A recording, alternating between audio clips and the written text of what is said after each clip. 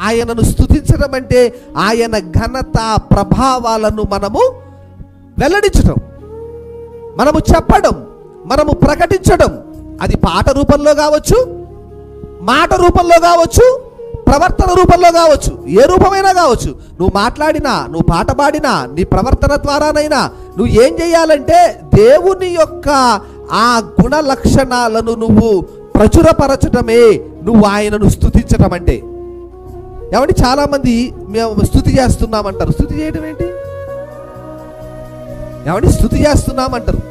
స్థుతి చేస్తున్నామంటే అర్థం ఏంటో అంటే వాళ్ళు అక్కడ మైకులు పట్టుకొని స్థుతి స్థుతి స్థుతి అని చెప్తారు. అది స్థుతి చేయడం ఏంటి? నువ్వు ఆయన నామమును ప్రకటన పరుస్తున్నా లేకపోతే నువ్వు ఆయన గుణ లక్షణాలను వ్యక్తం చేస్తున్నా నువ్వు ఆయన మహిమను బయలుపరుస్తున్నా నువ్వు మంచి పాటలో ఏమండి? ఒక మంచి పాట. ఆయన గుణ లక్షణాలను తెలియజేసే పాట. దాని వెనకాల నీ నీ నీ టాలెంట్ చూపించుకోవడం కాదు. దేవుని టాలెంట్ చూపించాలి.